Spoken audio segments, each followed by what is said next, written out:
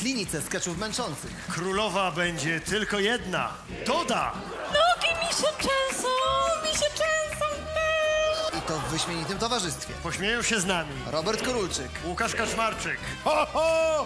Ewa Błachnioń, Oraz wasze ukochane kabarety. Takie szał to jest legalne? Bo wiemy, że to jest rehabilitacja, to będzie legalne.